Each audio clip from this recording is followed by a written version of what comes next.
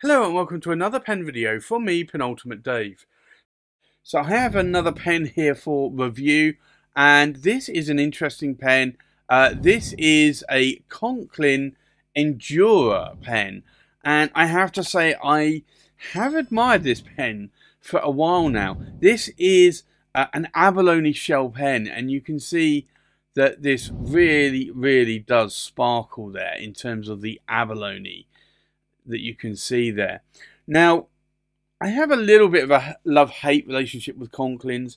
Uh, I do have a couple of the very, I want to say original um, Conklin Nighthawks, the Goulet Nighthawks actually. They were Goulet exclusives with JoWo nib, number 6 nibs. And they wrote very well. Um, but a number of Conklins that I've tried since then, uh, and they're just standard Conklins, have not been that good a writer.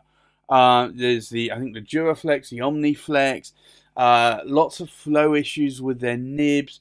So when Gary had, uh, Gary Dapperman, um, a friend of mine, had this pen and he asked if there were any pens in his collection that I'd like to review. I said, yeah, I'd, I'd like to review the Conklin Endura, please, because this is quite an interesting pen.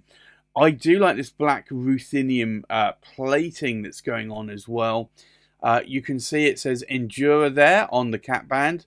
Limited edition 1229 of 1898. So this is a limited edition. It is a numbered edition. 1898 pens though is a lot of pens. Uh, so I always think it's a little bit much when it goes over a thousand uh, in terms of uh, the the number of pens made. You can see Conklin there on the clip. Now, uh, is the clip, the clip is quite strong as well. Now, interestingly enough, the pen itself is cylindrical or round, but the strips of abalone are not. So it looks as though the pen is faceted, even though it's not. The facets are under the surface there. So it actually makes for a very nice smooth pen.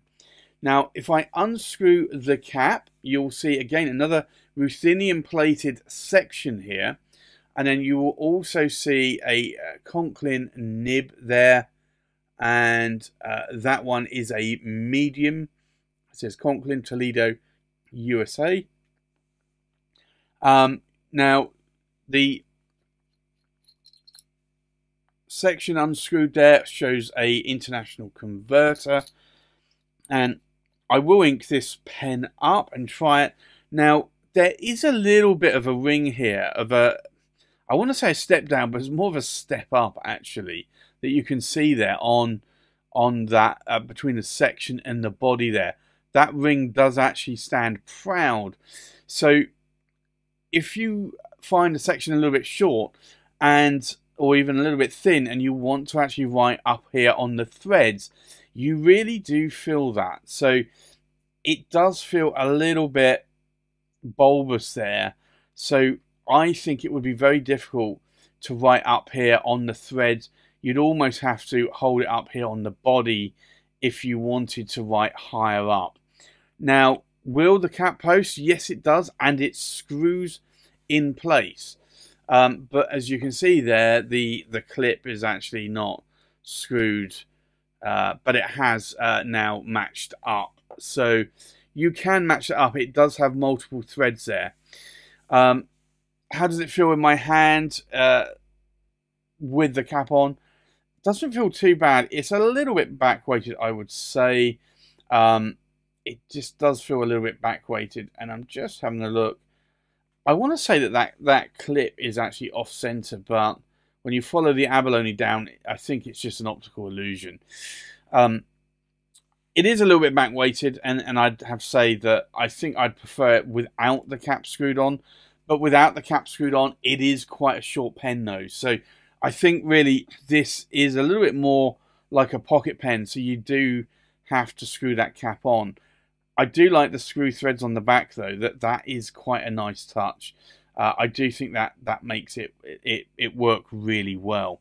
But yeah, it does it does feel quite back weighted. So, and I think most of that metal here on the what is the cap finial is is actually causing that to be back weighted.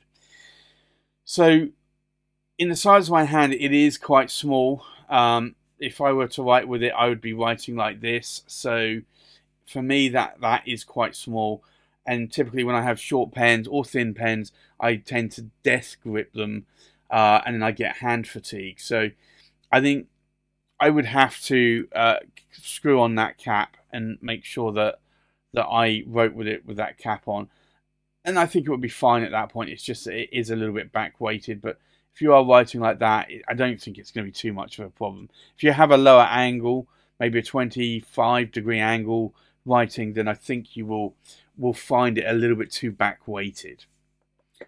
So I think with that, let's go and do a size check. We'll do a weight check. We'll do a pen comparison. And then we'll do a writing sample. So the full length of the pen, we are looking about 136 millimeters in length. The length of the cap, we're looking at 60 millimeters in length.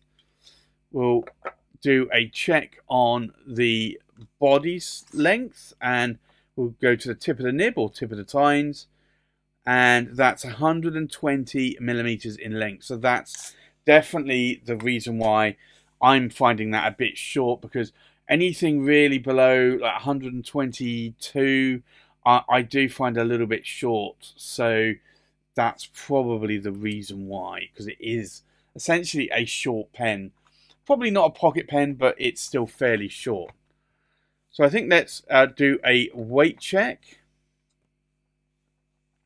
Now this is a metal pen, so uh, this is going to be a heavy pen.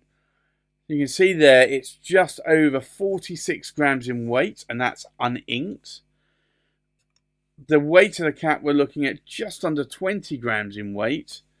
And then the weight of the body we're looking at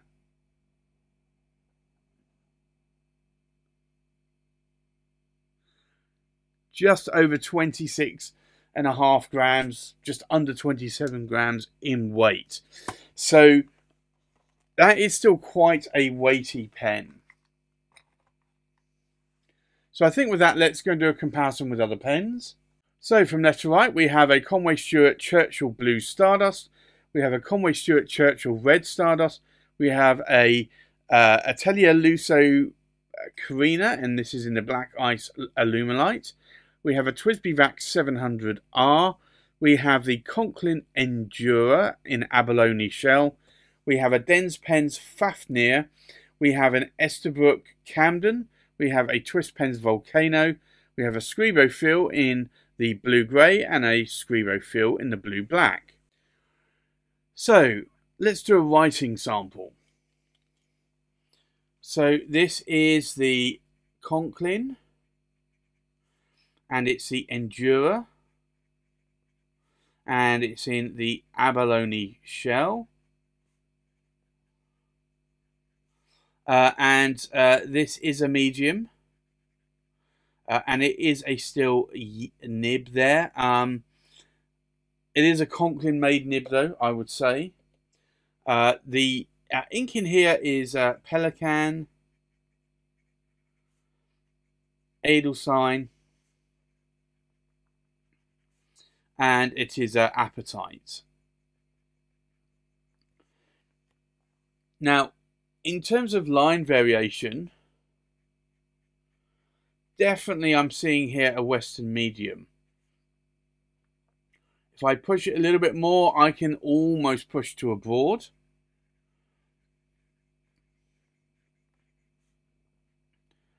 And you can see there that there is no hard starts or skips going on. Now, in terms of ink wetness, let's take a look.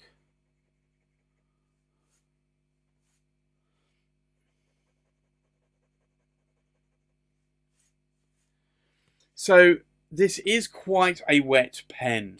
Now, I would say that it does have a ruthenium plated nib. So like most ruthenium plated nibs, it does have a little bit of uh, feedback, pencil-like feedback to it. But it's not unpleasant. It's just something you have to get used to. So if you're used to that kind of feedback, then that's fine. If you're if you really like smooth nibs, I would try to avoid ruthenium plated nibs because in a lot of cases those nibs are coated and the nib the tines are actually coated as well. So it's not the nib isn't coated first and then the iridium point welded onto the nib now you can actually resolve that. You can actually smooth the nib. And you can take the nib to micromesh if you want to. And I have done that before on ruthenium plated nibs. You will find though that you will remove the plating on the iridium point tipping on the nib. So it won't then remain black. But you can do that if you want to. But if you have a little bit OCD and you don't want to do that then I would say avoid a ruthenium plated nib they do look very nice and I do like them um, but they will have a little bit of more of a pencil like feedback to the nibs so if you if you don't if you like a smooth nib then uh, then you might not like this. But if you don't mind pencil-like feedback, then you probably will like this. Now, the nib itself actually writes pretty well. Um, I know a lot of Conklins have had issues with nibs. Um, I certainly know a lot of the like the Duraflexes, the Omniflex nibs. Uh, that I know a lot of people that have complained about those nibs in the past. Uh, I've tried a few myself, and I've really not got on with them. This nib does write a lot better. I don't know if Gary did tune the nib though. Uh, he may have tuned that himself. I do like this abalone shell. I, I think this is really, really nice. Uh, I I do like that pen, and I have to say that uh, I've always wanted uh, an abalone shell like this in a pen. Uh, my preference would be uh, I like the weight, um, but I would like a longer pen. I do find that, that this pen, for me, is a little bit too short. Now, it probably isn't short for a lot of people, but I just prefer a pen that is around about 130 millimeters in length, not 120. I just find 120 just too short. But outside of that, I think it is quite a nice pen. Um, the pen writes well. It does put down uh, a medium line of ink and the ink is quite wet as well. So there you have it. That's my review of the Conklin Endura abalone shell with a medium steel nib.